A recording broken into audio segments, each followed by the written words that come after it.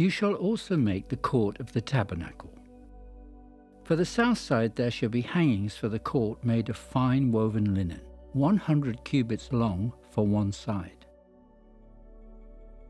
And its twenty pillars and their twenty sockets shall be bronze.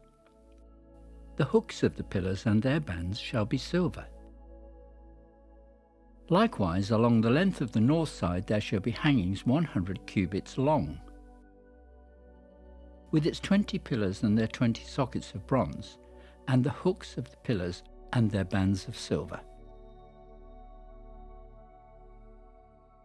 And along the width of the court on the west side shall be hangings of 50 cubits, with their 10 pillars and their 10 sockets.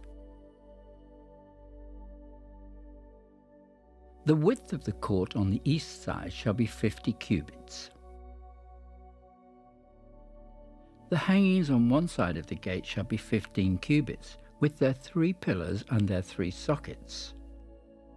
And on the other side shall be hangings of 15 cubits, with their three pillars and their three sockets. For the gate of the court there shall be a screen 20 cubits long, woven of blue, purple, and scarlet thread and fine woven linen, made by a weaver. It shall have four pillars and four sockets. All the pillars around the court shall have bands of silver. Their hooks shall be of silver, and their sockets of bronze.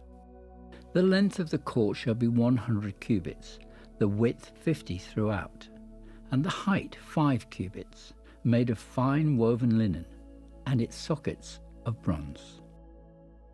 All the utensils of the tabernacle for all its service, all its pegs and all the pegs of the court shall be of bronze.